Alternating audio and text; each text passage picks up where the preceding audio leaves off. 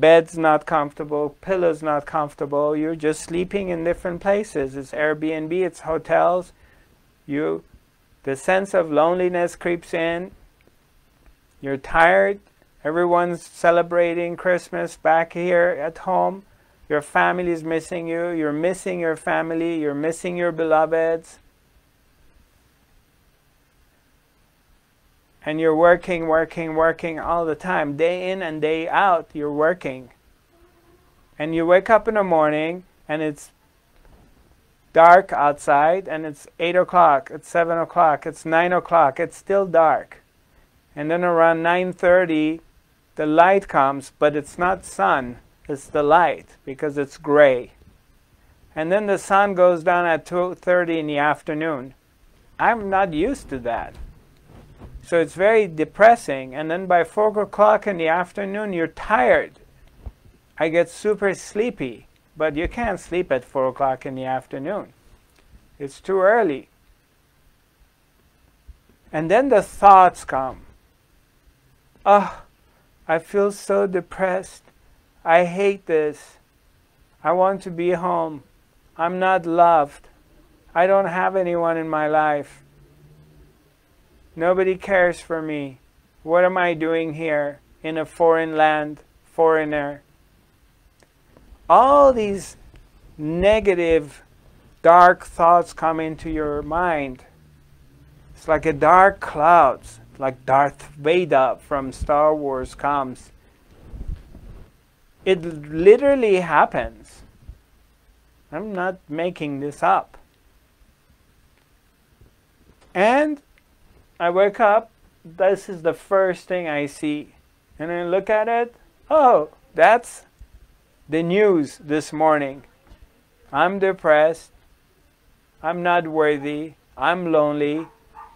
So this is what I hear in my head. And I ignore it. I don't give it any attention because I know who I am.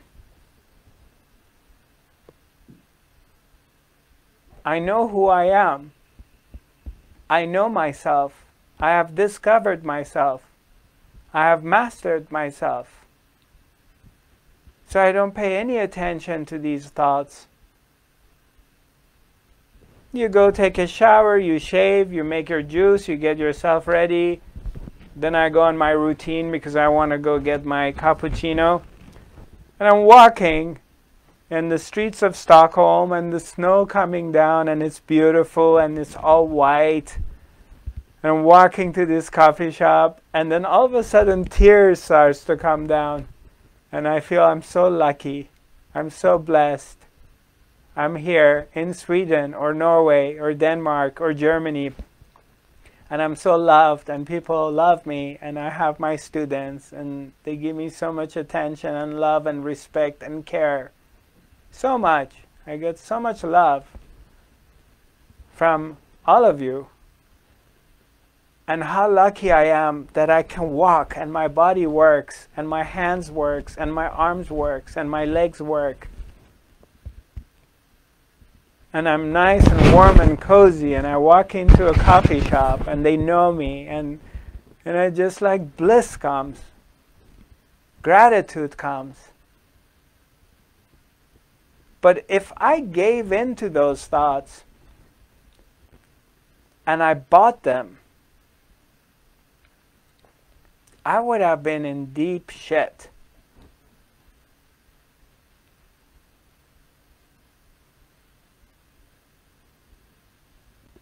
And then you get the news, all kinds of different news. This has happened, that has happened, such and such and family got cancer, such and such person's gonna die, da da da da, or you get the worldly news. But I can't get bothered by any of it. I have a mission.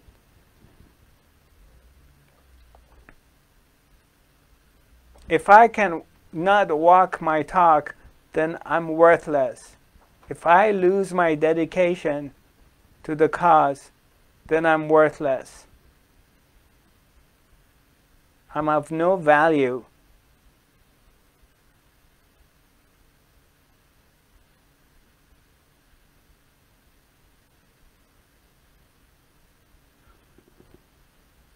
So you ignore your thoughts, then sometimes strong emotions come. And once you learn to ignore that and stay centered within yourself, and the fear and the anxiety comes, the anxiousness, this anxiety comes every once in a while that you need to do something. You got to do something.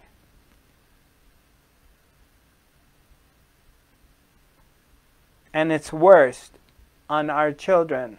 It's worst on the younger generation because they don't know because they are with their phones and their instruments all the time. So it creates a lot of imbalance in their neurotransmitters from their gut. They got digestion issues and the neurotransmitters are off.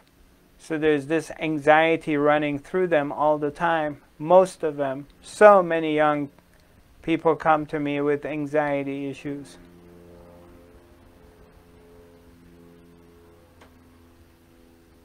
But with the right training, right guidance, none of them have any power on the truth of who you are.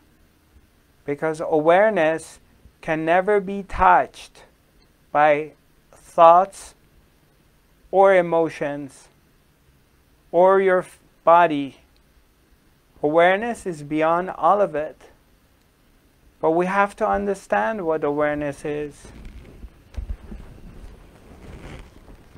And you cannot understand what awareness is outside of words unless you become aware, unless you give it a try, unless you're willing.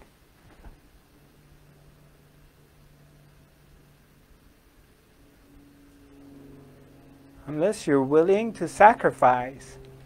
Sacrifice your attachments, your attachment to your mind, your attachment to your story, your life story, it has to go because it's of no value here.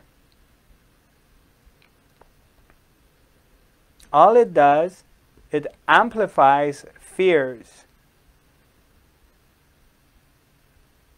When you think about future, Whatever you think of future is non-existing. Future is a projection of the past by the mind. Because future just simply does not exist. Neither as the past. None of them do exist. It's only now. It's this moment that only exists. Even if you're not present in this moment, you're still not present here, but you are here.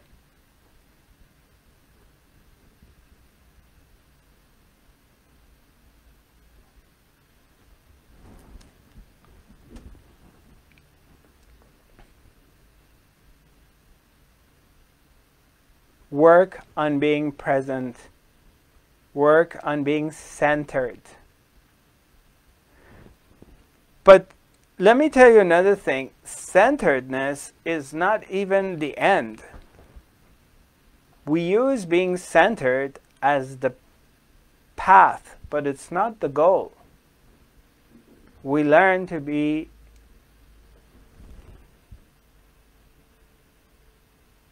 still and be in your center. But that carries you as long as to the gates of awakening. After you awakened, centeredness is gone because you will explode into everything. But to get to that point, you have to be centered.